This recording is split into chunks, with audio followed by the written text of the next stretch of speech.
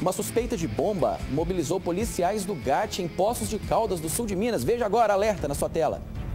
A rua que dá acesso ao Fórum de Poços de Caldas foi isolada. Segundo a Polícia Militar, uma caixa de papelão medindo aproximadamente 30 centímetros foi deixada sobre a mesa de um comércio e chamou a atenção de um funcionário do fórum, que entrou em contato com a PM.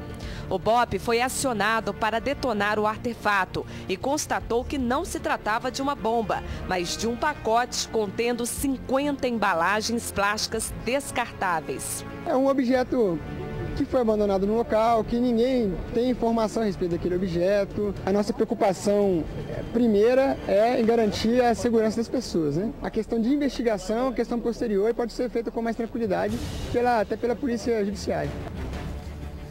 Aí, ó, que susto, hein? Eu tô aqui acompanhando o Alterosa Alerta pelo Facebook. Mostra aqui, ó lá. Nós estamos ao vivo aqui no Facebook também. Eu tô aqui acompanhando as mensagens que vão chegando a todo tempo. E eu tô achando que nós estamos muito devagar, gente. Nós temos só 40 compartilhamentos. Nós temos que chegar a 100, pelo menos. Vamos começar a compartilhar o programa aí que eu tô lendo aqui, ó. Itabirito, Jorge do Forró tá lá. A Eliane Souza, está difícil viver. É verdade, né? Não respeitam o povo.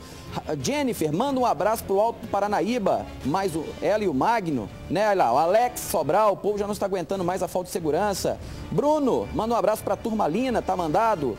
Branco Sol, Branco Sol, mande abraços para mim e para o Gabriel. É isso aí, olha lá. Leonardo de Sete Lagoas assistindo o programa, Leonardo Dias. Vamos participando, gente. Vamos compartilhar aí, ó. Não perde tempo não, meu filho. Vamos lá.